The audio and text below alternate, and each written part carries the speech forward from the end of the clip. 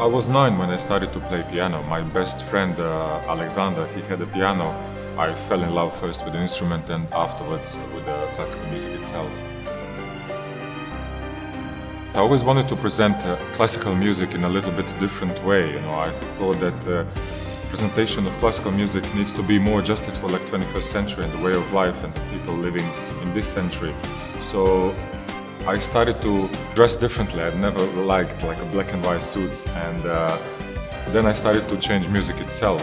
That's when I met my manager Mel Bush, who was a pioneer of this kind of music, crossover music with a lot of artists before me, and uh, we started to do fusion of electronic music with classical. Now, obviously, I was a classical musician all my life, and that's my first love but uh, I like electronic music in my free in my spare time to listen to electronic music so I thought that fusion of this type of music could be something really really interesting.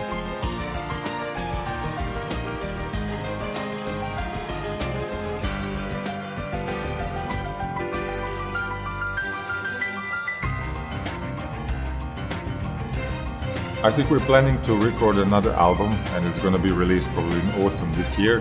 And later in the year, in December, I'm coming back with my band. That we are having 13 concerts in China.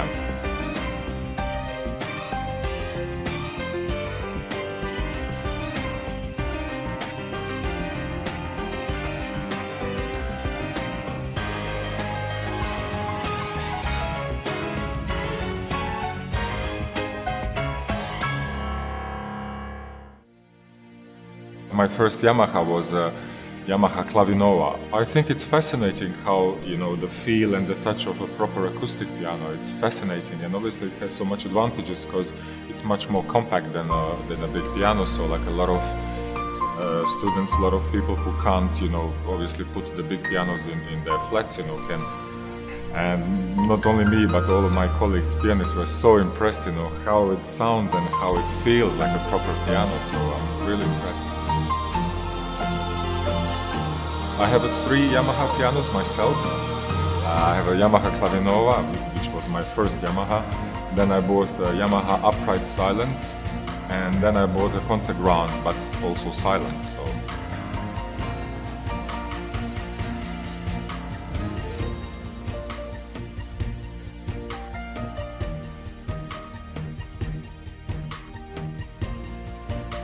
And I think there's uh, all different types, you know, for everyone, like all type of musician, whether you're a classical musician and you need like a, you know, electric piano which imitates like the acoustic piano, or in the same time, you know, if you like to experiment with the production and different sounds and different instruments, like what I do.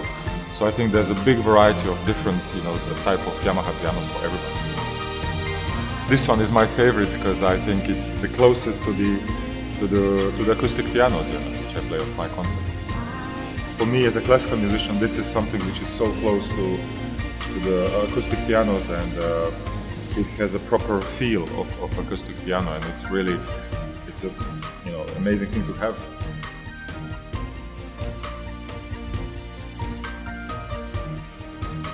No, I think Shanghai is an amazing city, especially to do something like this, because obviously Shanghai has this uh, amazing combination of like a modern, new and, and very old and traditional. Obviously, a lot of like a Western uh, influence mixed with obviously Eastern. So there's a you know a lot of interesting uh, atmospheres and combinations here in Shanghai, and I think it's a great great city to do something like this. But it was really interesting. We had so, such an amazing location, like the one on the rooftop, you know, overlooking the moon. So